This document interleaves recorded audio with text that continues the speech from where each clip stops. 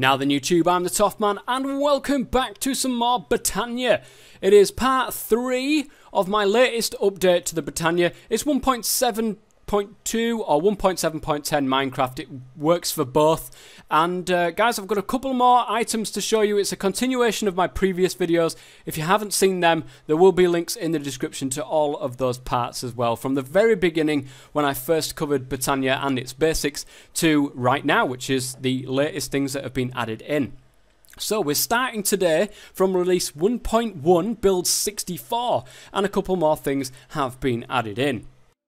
So back in release 1.1 build 64, it was added in uh, a mana bottle. Now, you can go up to a mana pool like this, chuck a bottle in, and you can get a mana bottle back out. Now let's go into uh, normal mode here. If you're feeling particularly daring, you can go ahead and drink this. And it can do some random stuff to you. Like, what the heck? I think that's meant to be a pixie. so that one spawned a pixie and it can do other random stuff like that as well. I don't know what that's for. Uh, but the item, apparently from Vazkii, the item is pretty much like a joke anyway, so God knows where that went. Something just went somewhere. Ah! Half art now. Serves me right for sticking his head on a pike. Now there are two new rods also added in in beta, not sorry beta, re release 1.1 build 64, Rod of the Skies and Rod of the Hells. Now, Let's go to mystical instruments. Rod of the Skies.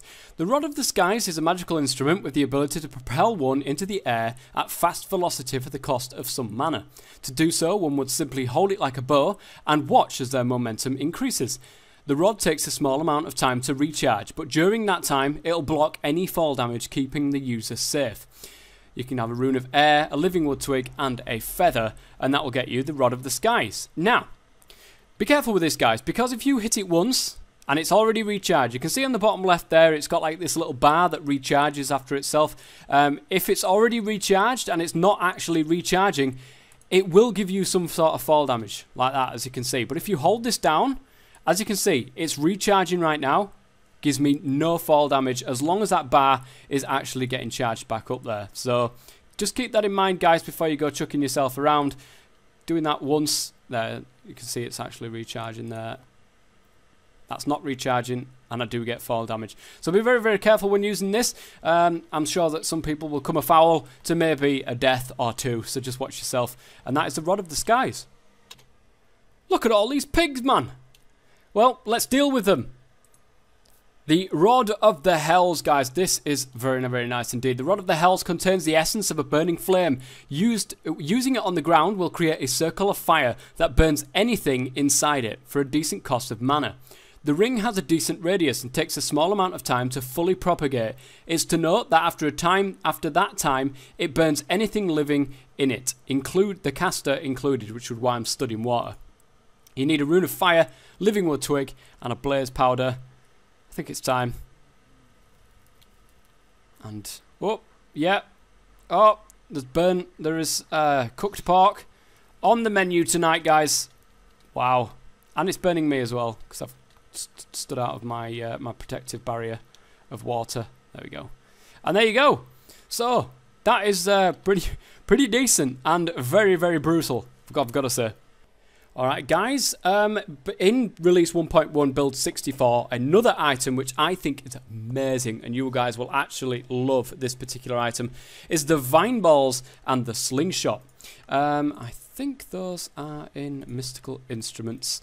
There they are, vine balls. Ladders can't stand up on their own, they require something on their back, whereas vines don't. Normally though, vines aren't strong enough for someone to climb them when they are freestanding. By, uh, by combining a few vines, it's possible to create a ball that can be thrown to create a climbable ladder of strong vines where it hits. This is pretty, I, I love this guys.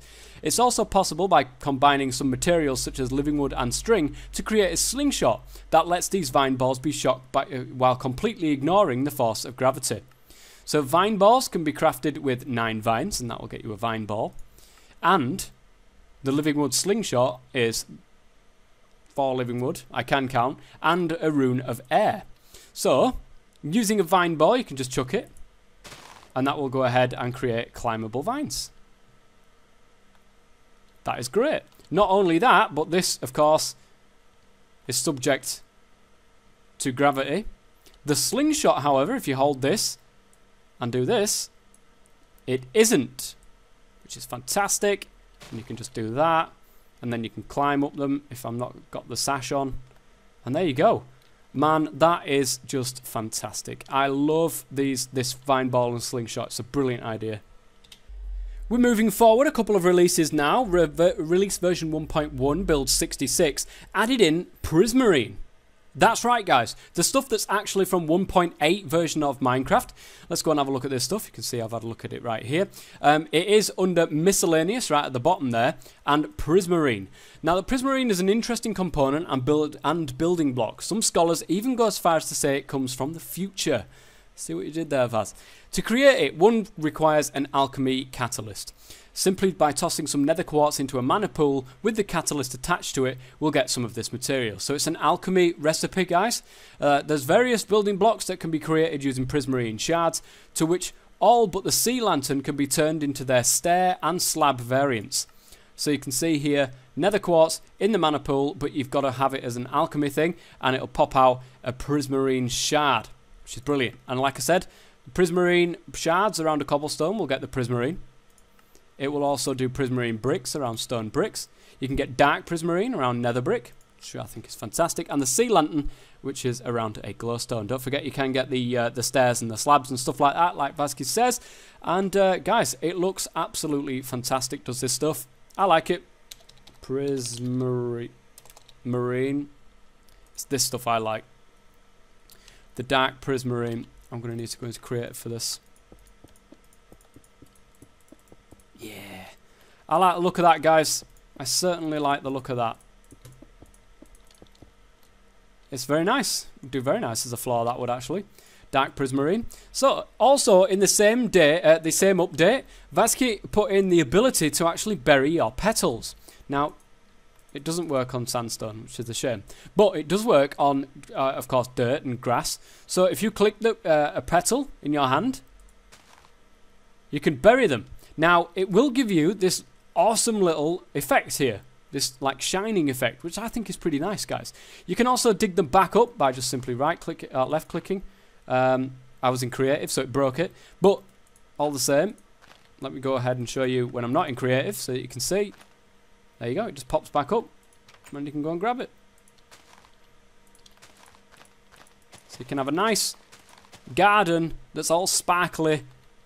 Oh, that, that, looks nice. I like that. And of course, it depends what colour you actually plant to what kind of uh, particle effects there is. Um, and there you go. Buryable petals.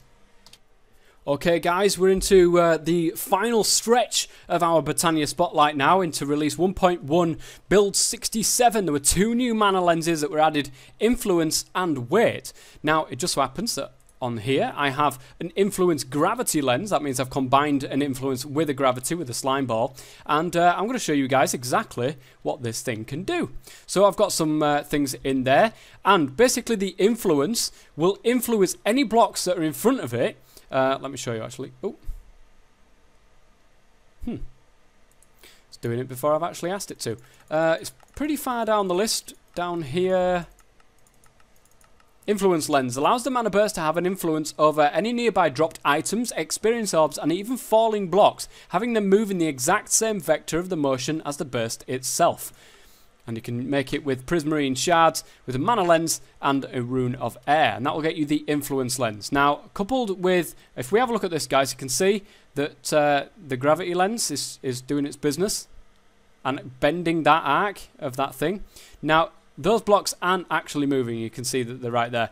But if we directly influence this with the redstone uh, contraption here and just click that, you can see it's actually doing it. And it's following it, it's following it, and when it runs out of steam, it'll drop the items, and then there you go. How ledge is that? That's great. I think that's great. That is the uh, influence mana lens. The next mana lens is something called weight. Now, this thing is pretty cool also. Uh, the weight lens carries a strong burden on the mana burst, making any block hit by it, if there doesn't happen to be a block below it, fall, similar to how sand and gravel do. You can craft this with prismarine shards, with a mana lens and a rune of water on the bottom there, and that will get you the weight lens. Now, I've got a block here. Now, as you can see, I've got my Wand of the Forest. You can see, it the, the burst is going to hit that particular block. There is no blocks below it. Let's go and get rid of all them. So, when I actually let mana go through here, it will hit that block and actually make it drop to the ground. Much like sand and gravel do. Man, that's fantastic. There you go. That is the weight lens. And to finish it off, guys, release 1.1 build 72. We have the uh, a couple of config options that's actually been added in by Vazkii for map makers. Now, this is going to be very, very interesting. Uh, hopefully, when it comes around to me doing the Magicality map, and I really want to try to do that as well as I possibly can. It might take a while for it to happen, uh, but who knows. Anyways, uh, that's a different thing entirely added the mana pool cap before voiding. In other words, you can get a certain amount of mana in the mana pool before it will then start voiding any mana that goes into that particular mana pool for map makers. And also a one-use mana tablet for map makers also. Now, just as I was about to actually put this video out, guys, uh, Vazkii says to me, hey, Hold on on that a second because I've got something to push through. Release 1.1 build 74 has added shedding. All sorts of mobs will now randomly drop components of their body. Example, you know, can get feathers from chickens, bones from skeletons, ghast tears from ghasts, and so on and so forth. Um, this feature duplicates the mod Chicken Shed and adds variants to other mobs, which basically, uh, if you don't know what Chicken Shed is, it's a, a, a, a mod that Vazkii made previously that basically allows chickens just to drop uh, feathers randomly. Um, there's also a few other things that have been fixed. Fixed glimmering flowers working below pylons for the enchanter. Fixed the life aggregator uh, crashing servers. Um, fixed the snowflake pendant not placing blocks in the correct location under some circumstances. It's increased the resistance, uh, fall resistance of the Sojourner's Sash reverted a recent change where particles would stay in the world for less time, and uh, the Globetrotter's sash will now give you a higher jump height and fall resistance also. Now I am using build uh, 74 within this mod spotlight, so whatever you've seen has been the new stuff as well. So, um, ooh, wonder if anything's been dropped then.